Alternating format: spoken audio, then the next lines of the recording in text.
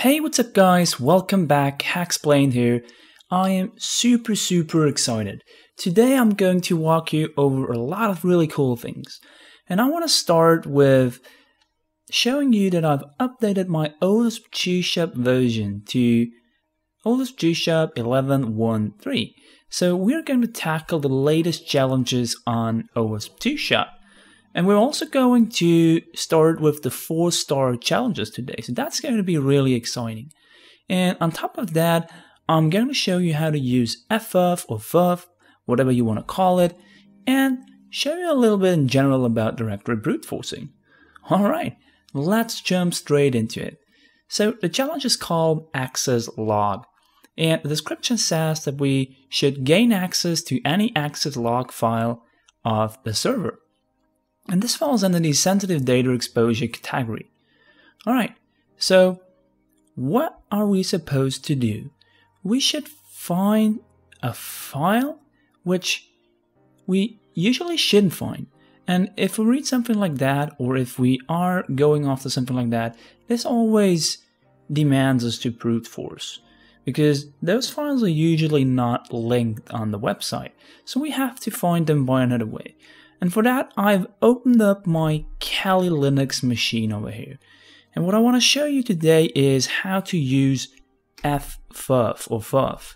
So let's quickly fire up fuf and show how fuf is used. So if you open up fuf, you see a lot of parameters, but you also see some example usages down below here. And the easiest you can do is just call fuf use a word list that you want to use for your brute force, select the URL you want to fuzz, then use the fuzz keyword as you can see over here in capital letters to tell the tool where to put the words out of the word list into the the the fuzzing string basically. And all that stuff behind fuzz is just a, a couple of uh, parameters that we don't need for now. So let's start using fuf. I'm going to say, all right, I want to use fuf. I'm going to use a word list. I have checked before where my word lists are stored. So if you're using Kali Linux, you can go to user, go to share, say word lists, and there is a couple of very, very good word lists available. I was going over a couple of them and decided to use dirbusters, or oh, sorry, derbs commons txt for that. So we're going with that. I'm actually just quickly going to show you how it looks like. So if we have a look at user share word lists derb commons, we can see that this file contains stuff like log files, lost, uh, magazine, magento, a lot of words that could potentially be used by the web application as a file name. So I'm going to get out of that again, jump back to fuf, and next up is the URL. So what we are going to do right now is we're copying our URL. We're going to put it in over here, paste selection. We're going to get rid of all the stuff that we don't need and we're going to say fuzz right over here. So what FF is going to do right now is it tries to send a request to well https hacksplain to shop latest herokuapp.com slash and then all the words out of the list that I've shown to you out of the common.txt text file. And let's start doing that. Whoops, I am getting an error because I am missing the minus u parameter. So let's add that. And we see that ffuf is running.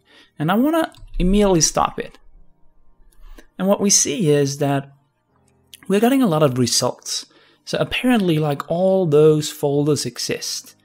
And if you think about it, I, I barely believe that GShop has all those folders existing, like 0, 1000 and 0, thousand and all that stuff. And if you look over here, they all have the same size. So that's a little sketchy. So let's let's see what we actually get back by shop if we go to, I don't know, let's go to slash thousand. So I'm going up here and say slash 1000. And we see that we're actually getting a valid response back. We're, go, we're, we're getting redirected to the all products page. So it seems like OWASP Choose Shop doesn't really mind which folder you put off the the domains slash because it will always just redirect you to the all products page. But let's quickly open up FUV again. I'm just typing FUV. I'm going to the example usages again. And if you look at actually the, the first example, it says filter out those with content size 42. So that's interesting.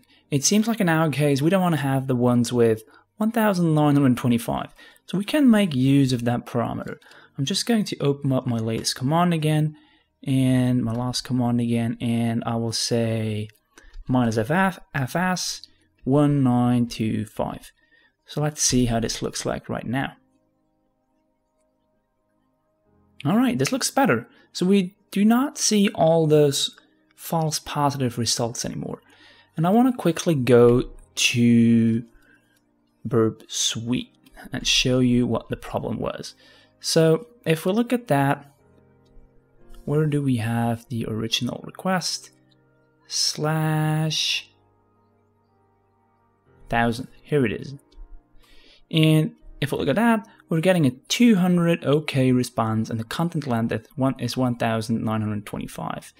So this is the response that we wanted to get rid of. Let's go back to our Kali machine. And what we see over here by now is that we have found a folder or a path that actually has a different size. So those are the ones which are interesting and in which we are interested in right now. So assets and FTP and um, FF is still running. So let's start by going to assets because that's the first hit that we got. We're going to assets. We're going to wait for a second. And this brings us straight to a white page. All right, that doesn't look too interesting. We could check out the source right now, but I'm going to FTP instead, which was the second result that we got. Hey, this looks way more interesting. All right, we're seeing a folder called FTP, and there's a couple of files in here. Quarantine, acquisitions, like all those files seem to be pretty interesting. If I wouldn't go after the access any log file challenge right now, I'd probably go and check out every single file in here and see if there's anything interesting in it. But as our challenge says that a team has probably, well, leaked a couple of access logs on Choose Shop, we gotta find out, we gotta extract a hint in FTP right now what that team was. And if we look around, we see, for example, incident minus support dot kdbx. So the question might be is it maybe the support team which is leaking any sort of logs? Or is it the legal team, as I also see the term legal in here?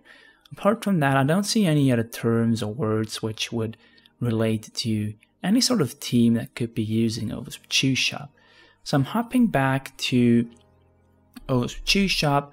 I'm opening up FUV again, and we see that we also found promotion. That doesn't sound too interesting. We also found robots.txt, which is pretty common that a web app has a robots.txt file.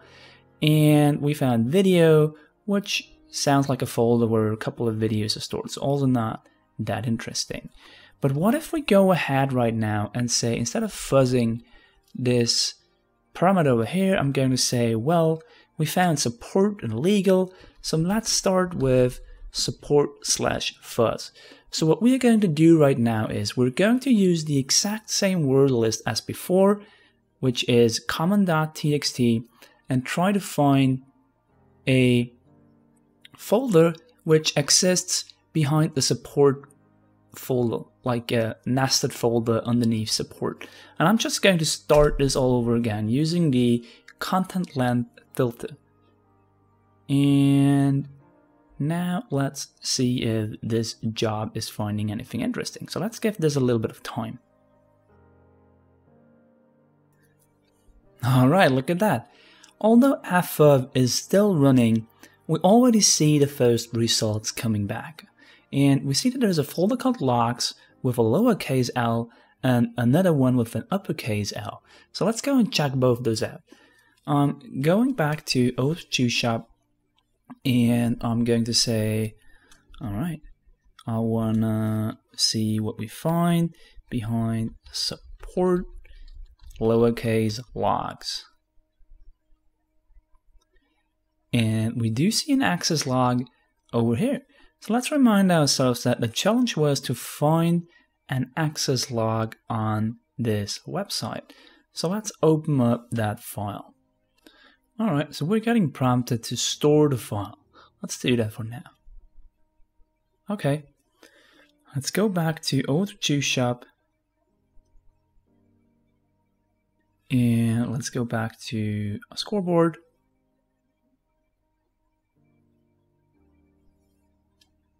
And here we go, access log solved. We actually see that we solved the challenge. We gained access to any access log file on the server. With that, I want to thank you once again for watching. Please make sure to subscribe to the channel in the top right corner and go check out all the other videos. Thanks. See you next time.